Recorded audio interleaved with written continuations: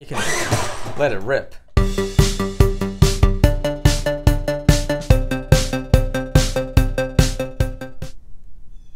Hey, what's going on guys? Joe with OMGRC.com. So today, this was sent to us from Banggood, so thank you Banggood. This is the SG1203. It's a 112th scale drift RC tank. Now it has it here showing you the metal gears that are in it and everything really nice on that part. I believe this one's going to have not only the rubber tracks, but it has the steel ones as well in this box. So thing looks pretty cool. Now this is going to be the white one as it's checked off here. Got the so it's white. Uh, gives you all the caution as far as anything you know as far as ages go. It's going to be for eight years and older. To kind of give you different information as far as not leaving the batteries in there for longer than 30 days all that good stuff. So make sure that you read up on all this cautionary stuff that's on here. But without further ado, let's get this thing out of the box because I'm excited to look at it and take a look at it. And this thing's got some weight to it.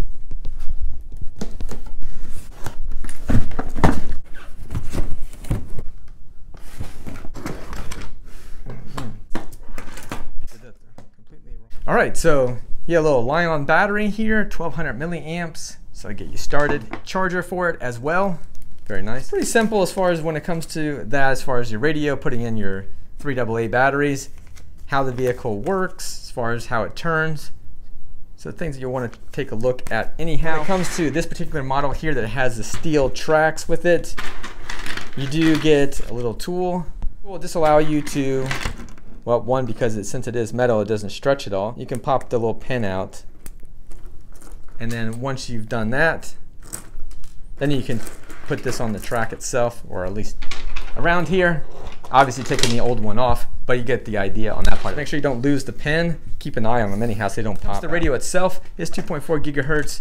It's very light radio anyhow, and that's probably pretty decent because for a kid, you don't want nothing really heavy at all in the hand. And there's your three double A's at the bottom. It's very nice. You know, just a little plastic steering wheel, what have you, just your basic stuff. So there's nothing to get messed up or fiddle with. It's just on and off that's it. Self, there are parts for this thing, so I already checked and made sure because that's going to be a concern for anybody that's buying one of these too. Like, can we get any parts for it? It looks like, you know, it's probably toy grade.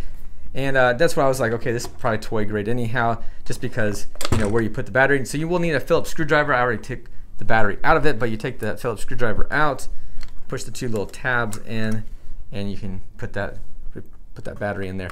Now, like I was saying, as far as when it comes to replacement parts are replacement parts for it and uh, quite a few of them I was actually surprised.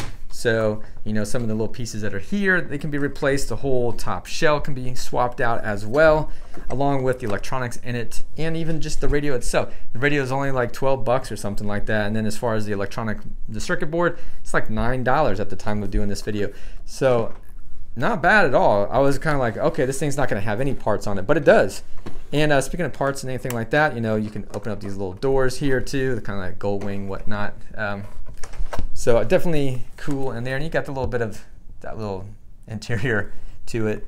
So cool. And it has a little spot here, put your little guys in there or whatnot. So I'm gonna go ahead and get this thing turned on so we can see. Now there's the only batteries that are that come with it are just gonna be that Li-ion battery that goes into the bottom. Uh, other than that, um, you just need the three double Right, so we got everything powered on. So three double A's at the bottom, got our radio turned and on. also your on and off switch there in red. So easy enough on that part of it. Uh, just make sure when you're done running the vehicle that you unplug the battery and then go ahead and you can charge it up or let's stick it aside for the time being and make sure you're, and again with the batteries, you know how those are. So left in there for a long time, they will kind of leak. So you definitely want to take them out if they're going to be sitting around for 30 days or more. Now, when it comes to the vehicle, this thing's it's got some power to it. So you can kind of go at a creep there and then you can let it rip. So I'll definitely. I like it, I like it. So it'd be cool to take it on a little trail or something like that. This thing's gonna be fun for sure. Very good. So I'll have all the links in the description below. Um, so you just use that affiliate link, like I said, and uh, yeah, you can purchase one of these, uh, and then you can use that same link to go ahead and look for parts as well. Definitely helps the channel. Appreciate you guys watching. As always, don't forget to like, comment, subscribe. We'll have a running video of this here soon, but you saw a little bit of it anyway.